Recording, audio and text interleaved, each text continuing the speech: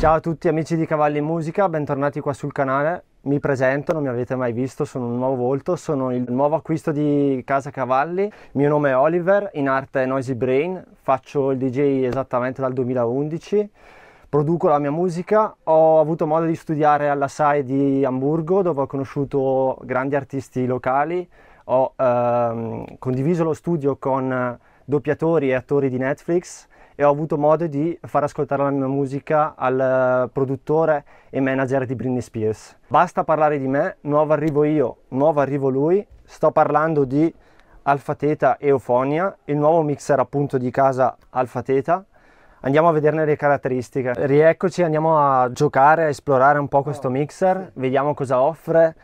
È l'unico dei mixer rotativi? La domanda sorge estremamente spontanea, la risposta è no. Ci ha pensato già Omnitronic con i modelli TRM, eh, gli Eckler, ce ne sono parecchi in commercio.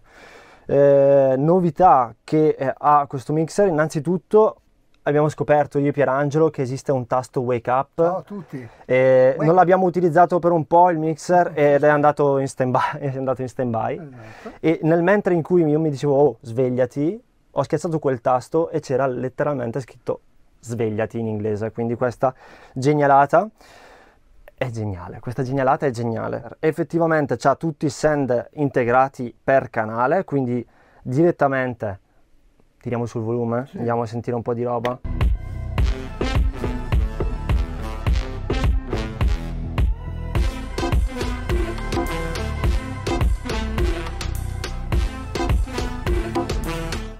Direttamente dal canale potremo inserire gli effetti che vogliamo. Il mixer ha a disposizione 1, 2, 3, 4, 5, 6 effetti, di cui togliamo adesso l'effetto. Delay, high pass filter, quindi filtro passa alta, tape eco, ecoverb, riverbero, shimmer e ext, EXT. Cosa significa EXT? Che abbiamo la possibilità di collegare dal dietro un effetto esterno. Quale effetto? Si può collegare all'RMX 1000, sempre di Pioneer, si possono collegare tutte le pedaline che si vogliono, quindi mandare segnale alla pedalina e rientrare direttamente nel mixer e utilizzarlo per ogni singolo canale. Altra cosa nuova di questo mixer che io non ho visto personalmente in altri mixer è la possibilità sì di mettere l'effetto e scegliere in che banda di frequenza andare a metterlo, quindi se sulle alte frequenze, se sulle medie o se sulle basse frequenze. Altra cosa figa del mixer è assolutamente l'analyzer che ti permette di vedere tramite un VU meter, un metro view la potenza di ogni singolo canale. Attualmente stiamo suonando con un CDJ e come vedete c'è la metratura in view del singolo canale. Se avessimo collegati gli altri tre canali avremo in anticipo il balance totale sul volume di ogni canale. Altra cosa che si può visualizzare è lo spettro di frequenza, quindi quanto effettivamente stiamo uscendo in basse frequenze, medie e uh, alte, esattamente come se fossimo in studio. Ecco che guardiamo le nuove funzioni del monitor, quindi effettivamente cosa si può vedere e i dettagli del visualizer. Quindi tramite view possiamo cambiarne la visualizzazione, questa è una visualizzazione mi verrebbe da dire orizzontale in cui è possibile vedere direttamente i livelli di ogni singolo canale più il canale del master eh, spettro di frequenza sempre presente. Una cosa che abbiamo notato è che c'è l'auto BPM, quindi eh, ciò che entra direttamente nel canale 1 viene auto, autolivellato, eh, autoanalizzato e ti dà direttamente la soglia del BPM in entrata. La produzione mia quindi posso dire che eh, l'ha rivelata giusta. Un'altra cosa è che scegliendo il riverbero non solo possiamo vederlo direttamente dalla manopolina ma viene presente anche nel monitor in situazioni credo di buio in poche parole se siamo in un locale con le luci soffuse o strobo in faccia e quant'altro, eh, questa funzione è molto figa per vedere l'effetto che andiamo ad utilizzare. Altra cosa, rientriamo qua, c'è la possibilità ovviamente di alzare e abbassare la luminosità del monitor.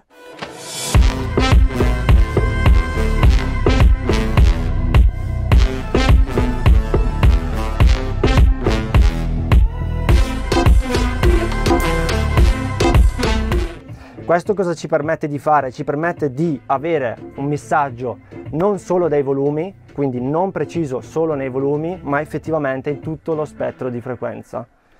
È rivoluzionario per quanto riguarda l'audio, nel senso che questa cosa dell'analyzer ci permette di fare un mix molto più omogeneo attraverso la visualizzazione delle frequenze che stanno uscendo nei nostri monitor. Gestibili esattamente dall'isolatore master, quindi andiamo a gestire le basse frequenze, le medie e le alte per combinare non solo i volumi della traccia da una traccia a un'altra, ma appunto tutto lo spettro di frequenza. Andiamo a sentire assieme i vari effetti che dispone la console. Partiamo con un filtro passa alte, conosciamo tutti. Mettiamo un po' di delay con la possibilità di determinarne la durata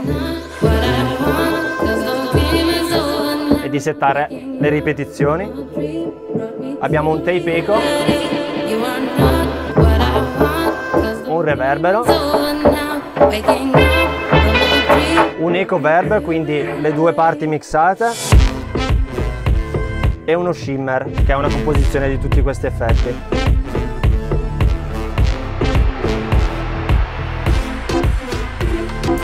Altra cosa che mi verrebbe da dire sugli effetti è che il delay e il riverbero possono essere sì regolati per quanto riguarda la durata e sia sincronizzati con il BPM della canzone che abbiamo in sottofondo. Essendo una console ibrida, passa attraverso un circuito digitale per poi essere trasformato in analogico. Forse vi ho già detto che eh, i convertitori all'interno di questo mixer sono in collaborazione con Rupert Neve Design, quindi hanno un suono estremamente caldo come gli equalizzatori e i banchi di messaggio che troviamo in studio, in studi professionali. Volevo giocare un attimo sul parametro per vedere effettivamente cosa fanno.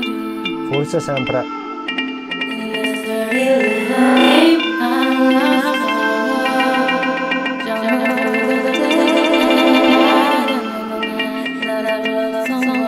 potrei riesumarlo come un feedback, quindi l'aumento di feedback dentro l'effetto, quindi sinistra durata e destra quanto effettivamente esagera esagera l'effetto di lei.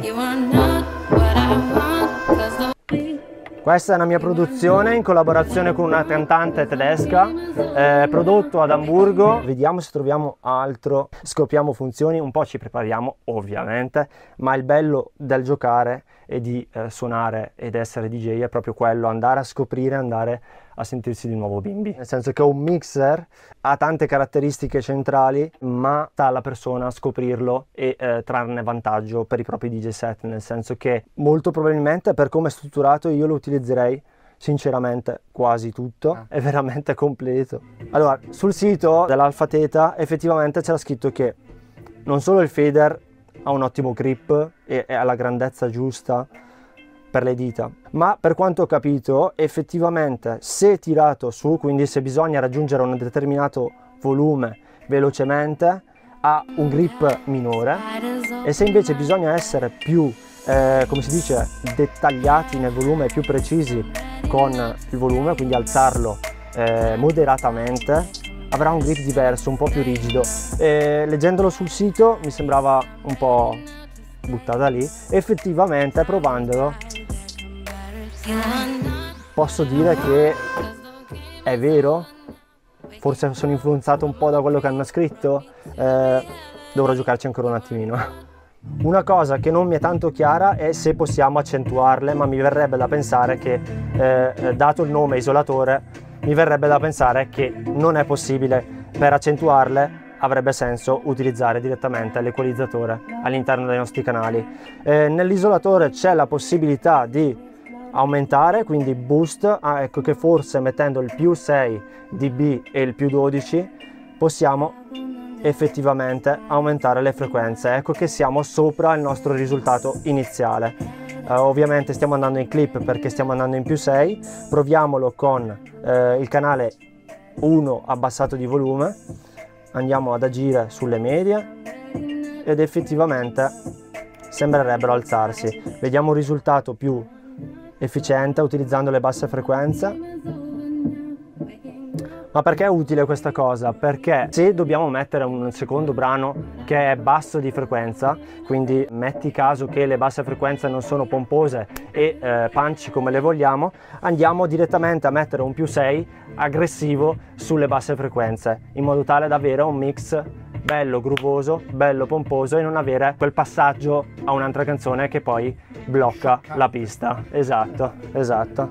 Andiamo a vedere adesso le, gli ingressi, eh, varie uscite del nostro mixer. Abbiamo per prima cosa qua 4 digital in, la possibilità sopra di eh, entrare con uh, un ingresso microfonico eh, XLR o jack da un quarto, eh, ovviamente bilanciato, la possibilità di collegare, come vedete, ovviamente i quattro canali, la possibilità di collegare fono o line, quindi fono per quanto riguarda giradischi e line per quanto riguarda CDJ, cosa che abbiamo fatto noi con il nostro Pioneer.